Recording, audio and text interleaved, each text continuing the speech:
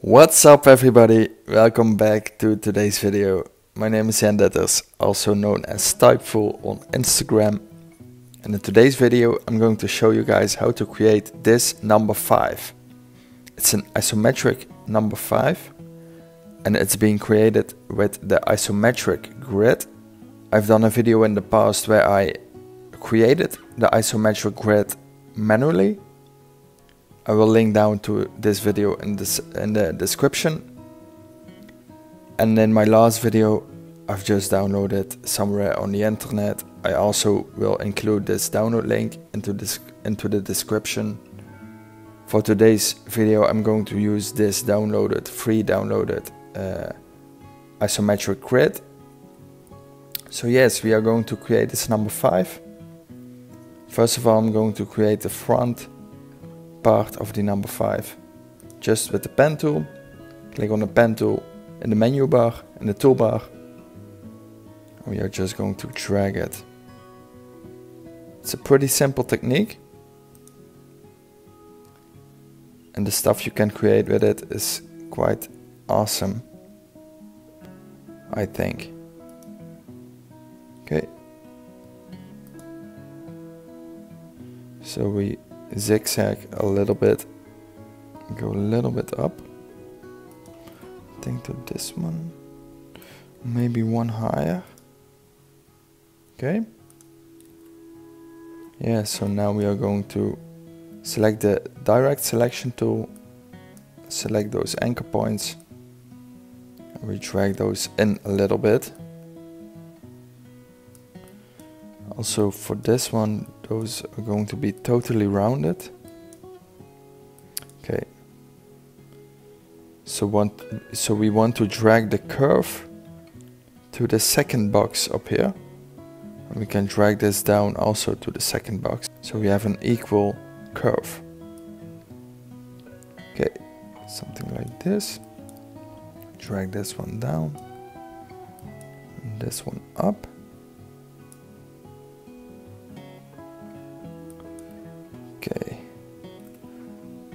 drag this one in a little bit to make it more balanced.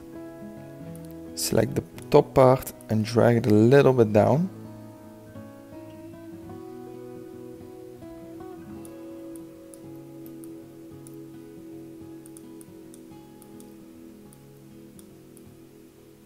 Okay. Okay, so we have created the number 5. Select it and drag it with holding option to the back. Okay, this looks quite good. We want to make sure this is in the same line.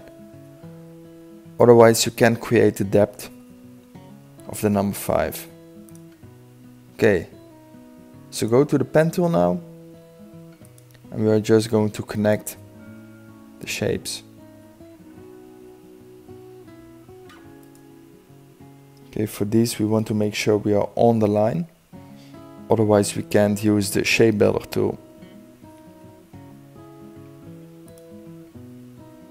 For this one as well, on the line. Oh. Okay, like this. This one as well. Connect them. And then again, connect this part with this one. Okay, zoom out a little bit. Press on V or select the selection tool in the, in the menu in the toolbar. And now we want to select all the lines. Press on Shift M. And now we are going to drag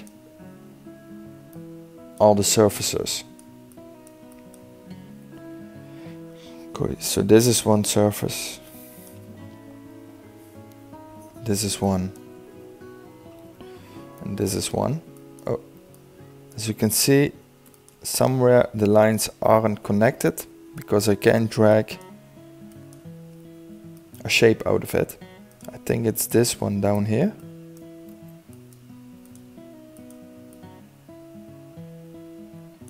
Zoom out, zoom in a little bit. We want to make sure this line is connected.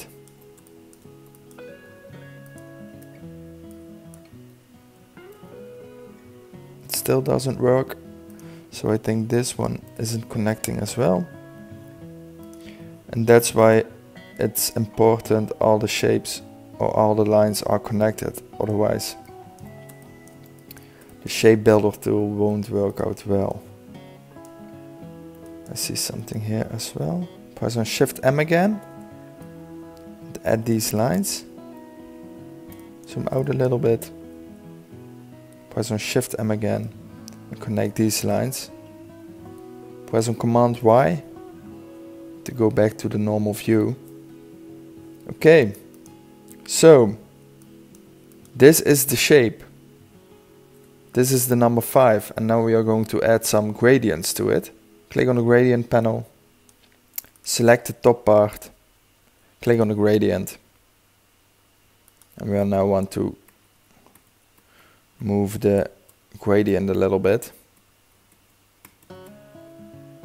Press on shift with the top arrow you add or when you press on the down arrow you decrease decrease the angle.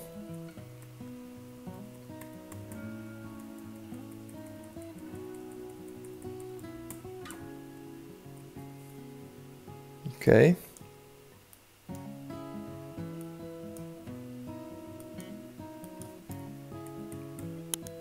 Okay.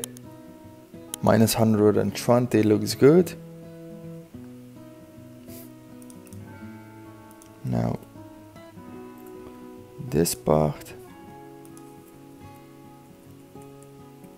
Think again minus 120. Okay, bring this one a little bit back. So you can see the light is coming from this side, the left top side. Okay, this one can be a dark color because there is, isn't any light over there. Just go to the swatches panel, click on window, and click on swatches. And we just want to give this a dark swatch color. I go for 90% black. Click on the last part. Click on the gradient again, the gradient slider. This one has a, a little bit of a white light on the top. So we want to make sure the white part is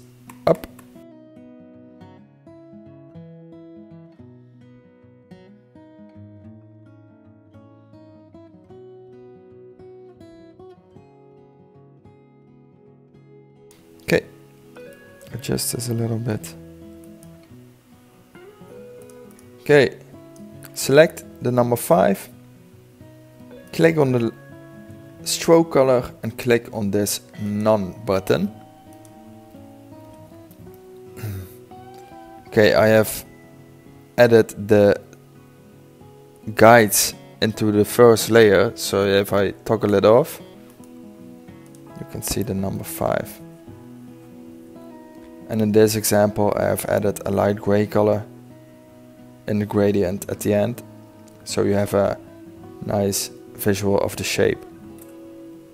This one ends in white so it blends in with the background. Okay, you can create awesome stuff with this uh, technique. So can't wait to see what you guys come up with. Hope you guys have learned something. If you did, Please drop a like, follow the channel, and I'll see you in my next video. Peace!